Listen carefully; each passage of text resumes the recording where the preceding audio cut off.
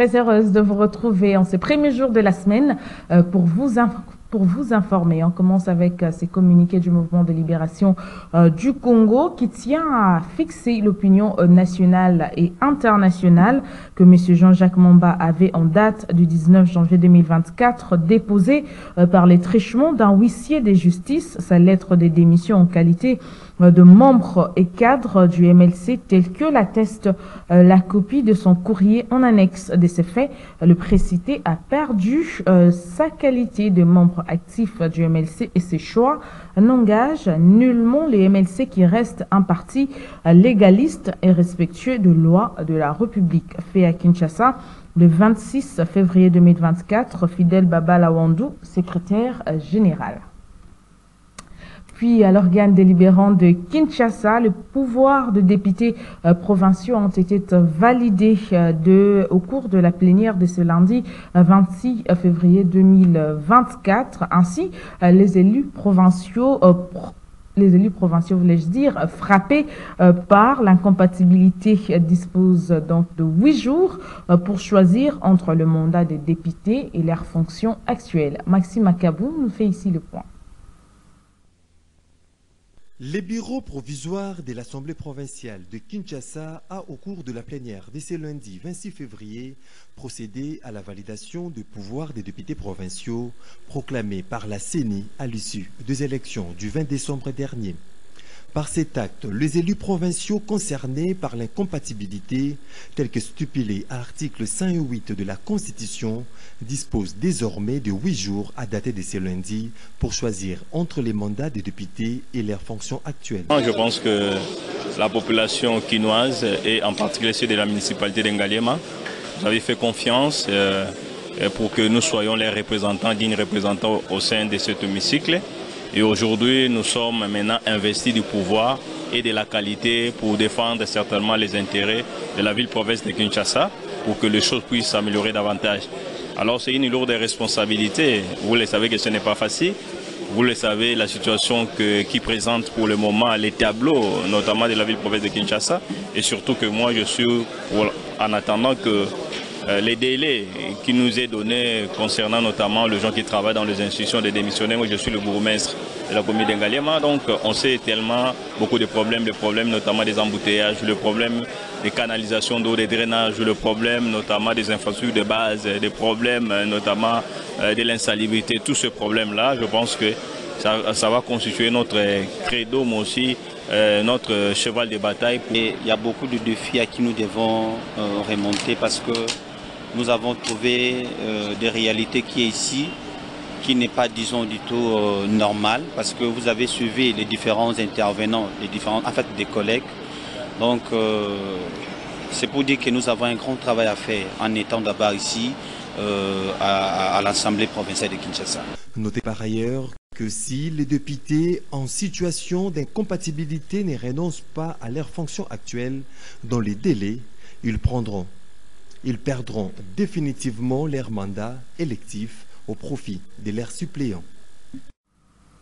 Et on parle de l'homélie du cardinal Ambongo lors de la messe dite samedi en hommage aux victimes de la guerre dans l'Est et pour le retour de la paix en République démocratique euh, du Congo, appelle à s'unir autour du chef de l'État Félix Antoine Tshisekedi et appelle euh, le député euh, national, donc le Parlement, à soutenir l'armée. L'homélie qui suscite des réactions de la classe politique congolaise. Je vous propose de suivre à cet effet l'analyste politique Manix Iyenga. Il est ici, il a été approché par Junior Bolafa. Dans son homélie, lors de la messe dite en hommage aux victimes de la guerre de l'Est et pour le retour de la paix, le cardinal Fridolin Mbongo a appelé les politiques à se mettre autour du chef de l'État pour mettre à contribution leur intelligence devant sauver notre pays face à ses multiples ennemis. Plus question des discours politiciens pour les positionnements, a-t-il dit. Un appel qualifié de nationaliste réagit l'acteur politique Manix Ienda. Je pense que c'est un appel... Euh, un appel nationaliste, c'est un appel à la convivialité, à la fraternité, à la solidarité et à l'unité nationale. Du moment où nous sommes agressés par un groupe bien identifié et un État voyou que nous connaissons, le Rwanda, sous l'égide du président sanguinaire, M. Paul Kagame, le Congolais ont tout intérêt de se mettre ensemble aux côtés du président de la République pour peaufiner des idées afin d'arrêter cette hémorragie de l'insécurité qui continue d'ailleurs d'infester le fonctionnement normal de notre pays. Nous sommes dans un contexte de guerre, il faudrait compacter toutes les stratégies possibles. Stratégie militaire, stratégie d'intégration communautaire, il faudrait que le peuple soit debout, mais aussi même du point de vue de la communication, nous devons avoir de politiques communicationnelles adaptées dans ce contexte précis. C'est en cela que je salue la bravoure du CESAC qui voudrait supprimer tout le programme qui viendrait dans le sens de la compromission de valeurs sacrées de la République parce que nous sommes dans un état de guerre. Et donc, nous avons besoin d'une communication homogène. Nous avons besoin d'un peuple debout et uni.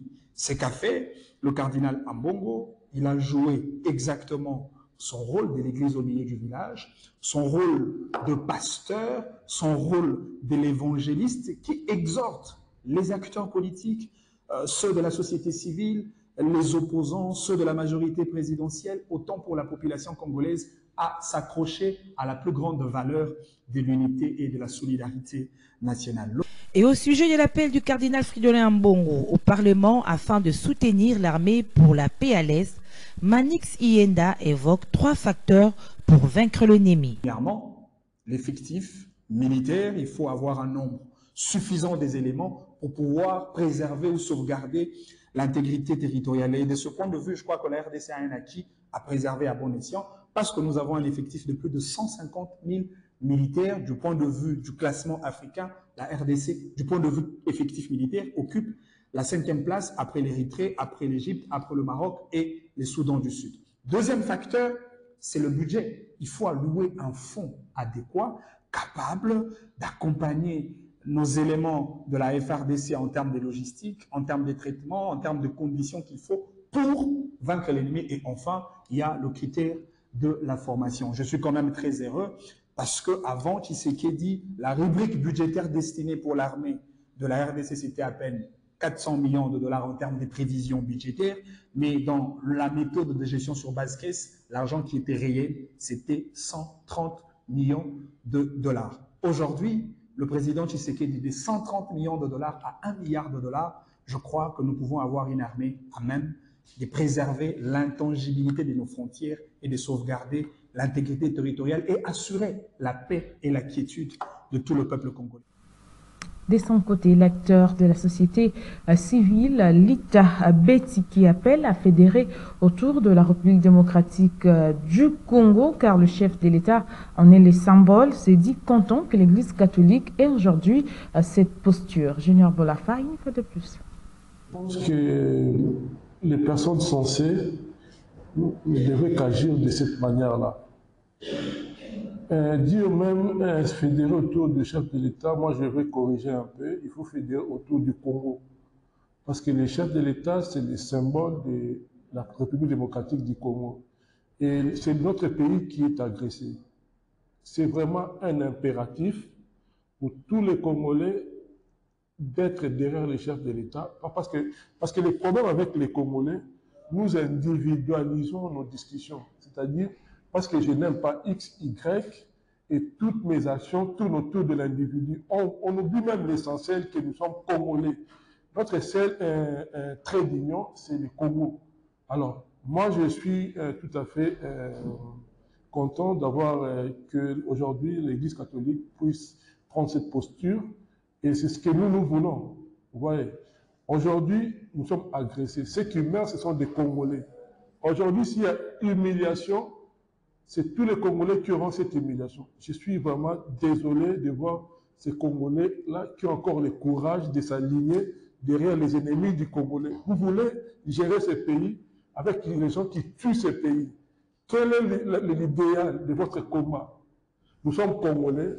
Si les étrangers veulent bénéficier de notre richesse, nous savons que nous, nous faisons partie de la planète Terre c'est-à-dire les richesses des planètes doivent servir à tous les humains. Mais il y a de la manière, il faut faire les choses. Vous voyez?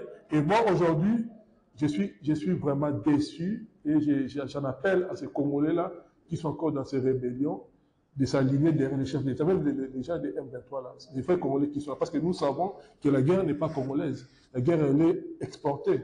Vous voyez, j'en appelle non seulement aux politiques, à l'opposition, mais aussi à ceux qui sont dans, les, dans ces mouvements-là, de rejoindre les, les, chefs, comme j'ai dit, pas les chefs de l'État, mais de rejoindre les Congo, parce que c'est le Congo qui est victime. Et au moment où nous serons ensemble, je pense, même la discussion pour le partage de nos richesses sera définie autrement. Et c'est ça mon point de vue. Violence dans la partie est de la République démocratique du Congo, Jean Fidèle, délégué de la société civile Émergence du Congo, alerte sur le complot de balkanisation de la RDC qui serait concocté par les États-Unis d'Amérique, la Grande-Bretagne et l'Allemagne. Il, il, est ici joint au téléphone par Maxime Macab. Ce qu'il faut retenir pour tout le peuple congolais que les Occidentaux, ce sont eux les agresseurs. Le plan de balkanisation n'a pas été fait par le Rwanda, mais c'est plutôt par les Occidentaux, les colonisateurs. Aujourd'hui, nous vivons déjà la balkanisation parce que la balkanisation, en fait, c'est un processus. C'est un processus. Et la guerre de l'Est de la République démocratique du Congo fait partie des efforts des Occidentaux pour nous ramener à la fragmentation et division de l'État congolais. C'est ça le résultat final de ce processus que nous appelons balkanisation. Lorsque vous regardez bien, vous allez vous rendre compte que tout est fait prêt. En tant que chercheur, j'ai découvert aujourd'hui que euh, les Occidentaux, ici je cite l'Union européenne, le Royaume-Uni, les États-Unis, ont déjà pris une option nette, c'est-à-dire à la fin de cette année, soit au début de l'année prochaine, dès le départ de la MONUSCO, ils vont maintenant annoncer la fragmentation et division de l'État congolais. Mais il y a les sept provinces qui sont concernées pour construire ce nouveau pays. C'est le Nord Kivu, la province Sud Kivu, Tanganyik, Itour, Bazouel, Otuel et Tchopo. Ce sont les sept qui constituent le nouveau pays préféré par ces Occidentaux. Si Cornel Nang est parti de l'autre côté, c'est pas pour faire la guerre, c'est pour devenir le premier président de ce nouveau pays. Nous devons nous lever. Nous devons tout faire pour éviter ce résultat, éviter la fragmentation et la division de notre République. Chaque communauté doit se prononcer. Et notre gouvernement, au travers du président de la République, il faut à tout prix sensibiliser la population, écouter la population, parler avec la population pour une décision de sauver ce pays. Et il faut aussi à tout prix faire ramener la Russie et la Chine ici en République démocratique du Congo, par exemple s'installer au niveau du Sud Kivu. Et puis on continue de parler insécurité à l'est euh, du pays. La société civile Force euh, Vive de l'Ituri condamne avec la dernière énergie l'assassinat de deux sujets euh, lendou samedi dernier. Ceux-ci ont été tués sur la colline Sakaïpa se trouvant dans la chefferie de Baema par le groupe armé identifié aux autres aux autodéfenses Zahir. À cette même date, une autre personne a été donc tuée. À cet effet, le président de la société civile demande au gouvernement euh, de faire respecter d'engagement signé avec euh, le groupe armé. Écoutez Dieudonné euh, Lossa au micro de Joël Macabre.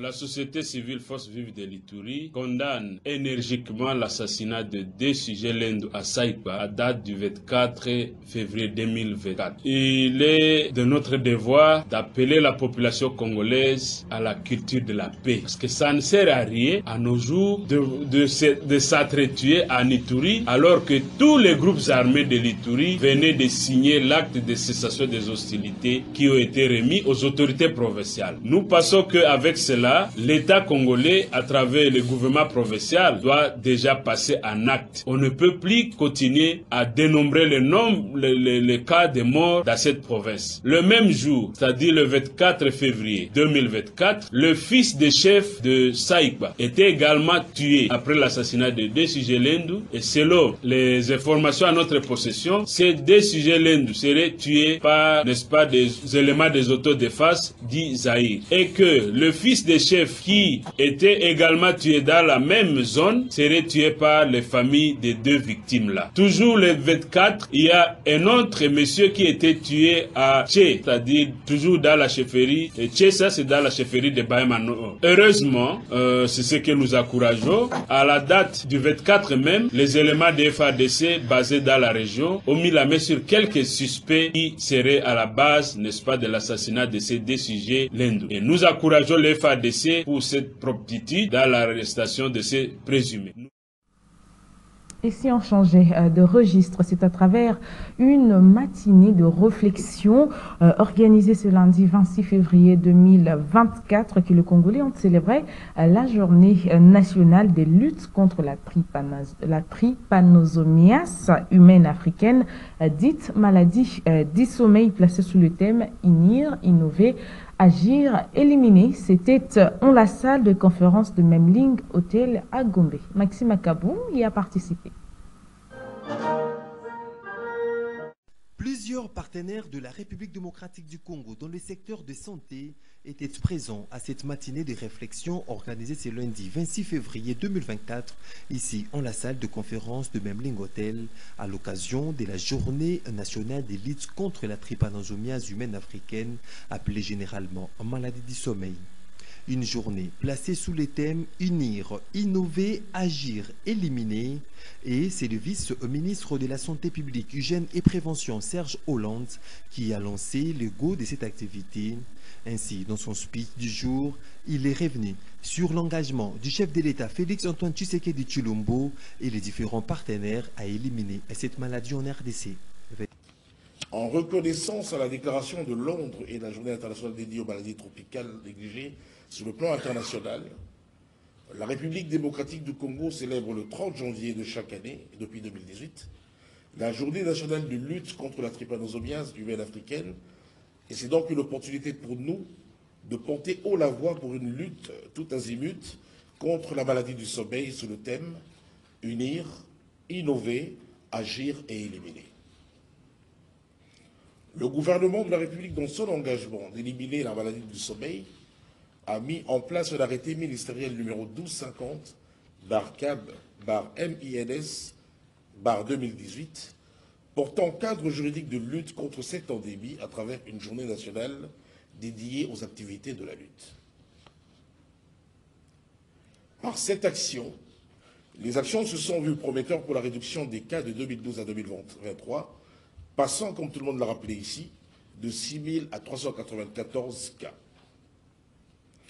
Cette commémoration de cette journée vise la sensibilisation des parties prenantes engagées dans la lutte, de la communauté internationale dans la pérennisation des activités et à l'adhésion et à l'approbation de la lutte avec comme objectif la conservation de la mémoire collective sur les acquis obtenus par cet engagement d'une part, et d'autre part sur les conséquences sanitaires, économiques dévastatrices sur les familles et communautés dans le développement. Notez que la journée nationale de lutte contre la trypanosomiase humaine africaine, dite maladie du sommeil, l'une de maladies tropicales négligées causées par la mouche tété et qui demeure un problème de santé publique en RDC et quelques partenaires de la RDC euh, dans le secteur de la santé, à savoir l'OMS, DND, IMT et les CNR N'ont pas manqué euh, de placer un mot en rapport avec leur engagement dans la lutte contre la trypanosomiase. Ils se sont exprimés au micro de Maxime Acab. Notre apport, c'est dans le développement de nouveaux traitements contre la maladie de sommeil. En fait, DNJ collabore avec euh, le ministère de la Santé à travers le programme national de lutte contre la trypanosomiase humaine africaine pour développer de nouveaux traitements accessibles, abordables pour la prise en charge de cette maladie dévastatrice. Il y a le fétinidazole qui a été adopté dans tous les pays endémiques et la recherche continue sur la cosiborole qui est la dose unique. Déjà en 2022, en novembre, il y a un journal Lancet qui a démontré l'efficacité de ces traitements et nous sommes encore dans les processus régulatoires et on pense qu'en 2026, la cosiborole sera inscrite, n'est-ce pas, dans les médicaments qui traitent la maladie de sommeil et ça, ça pourra interrompre la chaîne de transmission. Nous sommes au premier trimestre de la mise en œuvre de nos activités. Et donc là, nous avons le volet plaidoyer qui est accompagné du volet communication. Dans le cadre du volet plaidoyer, euh, je crois que nous avons à mener un atelier euh, de plaidoyer avec les décideurs de la province de Maïndombe.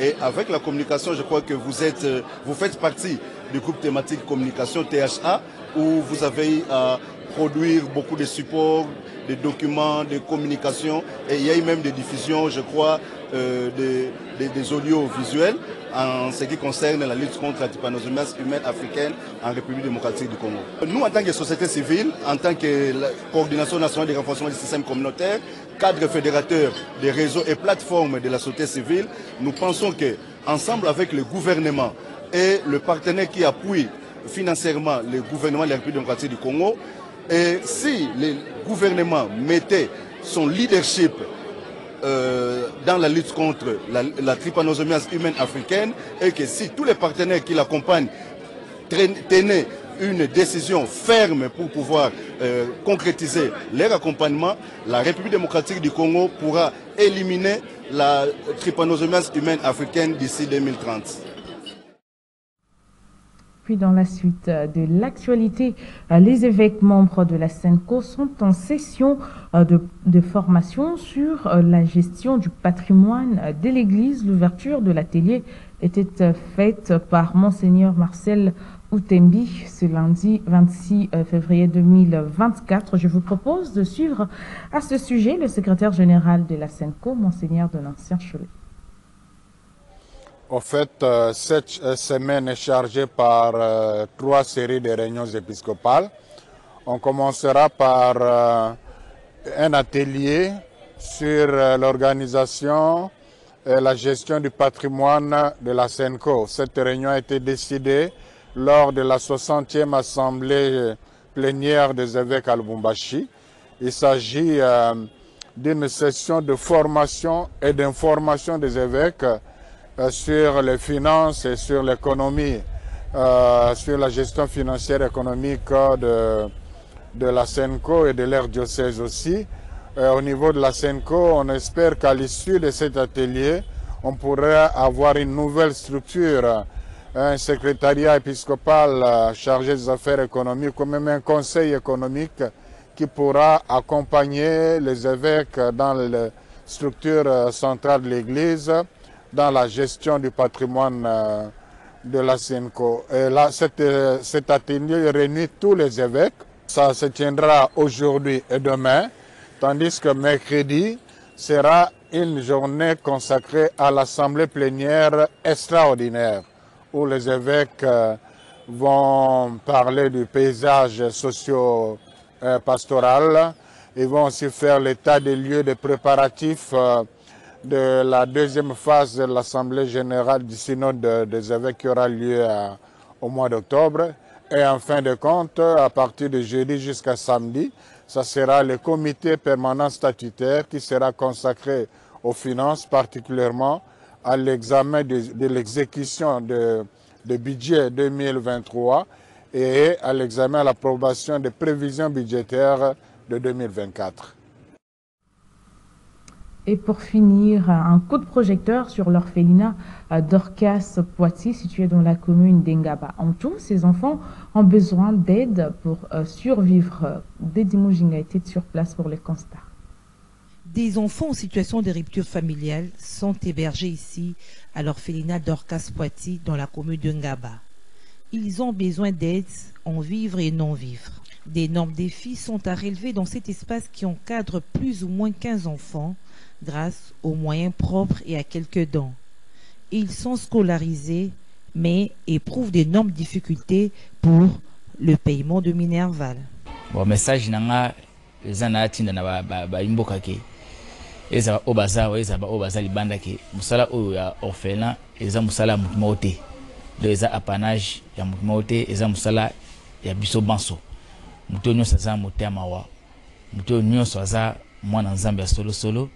aya kosunga bana oyo. Bana oyo baza na posa ya lisungi ya motu nyonso. Badifikulté awo eza ebele. Kolia na bango na nombre baza esengaka fale provision ezala malunga esengaka mpe wenze mpe ya malunga. Bacondition mpe ya kolala esengaka mpe fale to améliore yango. Kolata na bango mpe ezala bakilasi na bango esurtout ke majorité batangaka. Wana bana eh, 10 baoyo batanga na, na primaire. To wana bana 4 baoyo baza na niveau ya secondaire humanité.